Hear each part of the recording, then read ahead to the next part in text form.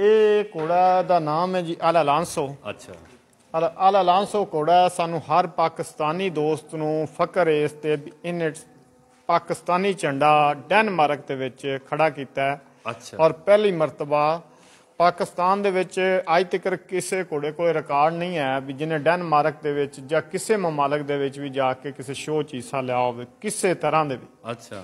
ਇਹ ਬਾਦ ਘੋੜਾ ਹੈ ਜਿਹੜਾ ਜਨਾਬ ਇਹਨੇ ਨਾਮ ਰੋਸ਼ਨ ਕੀਤਾ ਪਾਕਿਸਤਾਨ ਦਾ ਡੈਨਮਾਰਕ 'ਚ। ਮਾਸ਼ਾਅੱਲਾ। ਔਰ ਇਹਦਾ ਇਹ ਪਾਕਿਸਤਾਨੀ ਚੈਂਪੀਅਨ ਘੋੜਾ ਹੈ। ਹਾਂ। ਇਹਦਾ ਬਾਪ ਤਿੰਨ ਦਫਾ ਚੈਂਪੀਅਨ ਹੈ ਘੋੜਾ ਹੈ। ਇਹਦਾ ਦਾਦਾ ਦੋ ਦਫਾ ਚੈਂਪੀਅਨ ਹੈ ਔਰ ਇਹਦਾ ਪੜਦਾਦਾ ਤਿੰਨ ਦਫਾ ਚੈਂਪੀਅਨ ਹੈ। ਸਾਰੀ ਨਸਲ ਹੀ ਚੈਂਪੀਅਨ ਦੀ ਹੈ। ਹਾਂਜੀ।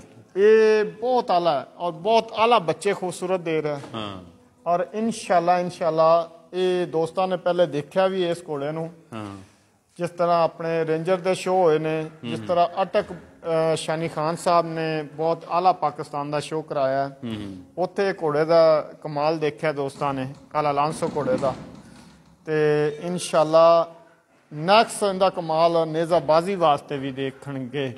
ਇਨਸ਼ਾਅੱਲਾ। ਇਹਦੀ ਏਜ ਕਿਤਨੀ ਹੈ ਘੋੜੇ ਦੀ? ਇਹਦੀ ਏਜ ਹੁਣ ਹੋ ਗਈ 6.5 7 ਸਾਲ ਏਜ ਹੋ ਗਈ ਟਾਈਮ ਹੈ। ਇਹਦੇ ਕੋਲ ਨੇਜ਼ਾਬਾਜ਼ੀ ਵਾਸਤੇ ਬਹੁਤ ਆਲਾ ਜੀ ਮਾਸ਼ਾਅੱਲਾ ਇਹ ਐਸਾ ਘੋੜਾ ਹੈ ਸਾਡੇ ਸਟੇਬਲ ਦਾ। ਹਾਂ।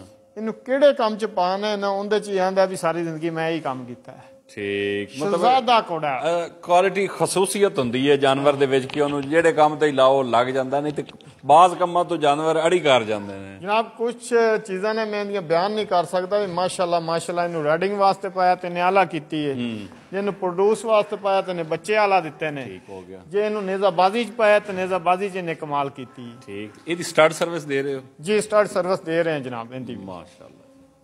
ਬੜੇ ਦੋਸਤ ਦੇ ਲੈ ਰਹੇ ਨੇ ਔਰ ਇੱਕ ਖੁਸ਼ਖਬਰੀ ਮੈਂ ਹੋਰ ਦੋਸਤਾਂ ਨੂੰ ਦੇ ਦੇਵਾਂ। ਹਾਂਜੀ ਇਨਸ਼ਾਅੱਲਾ ਜਿਸ ਤਰ੍ਹਾਂ ਜ਼ੁਲੇ ਸਿਆਲ ਦਾ ਨਾਮ ਹੈ ਨਾ ਪਾਕਿਸਤਾਨ ਦੇ ਵਿੱਚ ਏਸ਼ੀਆ ਦੇ ਵਿੱਚ ਔਰ ਬਾਹਰ ਦੇ ਮਮਾਲਕ 'ਚ ਵੀ ਹਾਂਜੀ ਇਨਸ਼ਾਅੱਲਾ ਆਉਣ ਵਾਲੇ ਵਕਤ ਦੇ ਵਿੱਚ ਇਹ ਘੋੜਾ ਅਲ ਲਾਂਸੋ ਮੇਰੀ ਗੱਲ ਦੋਸਤ ਯਾਦ ਰੱਖ ਲੈਣ।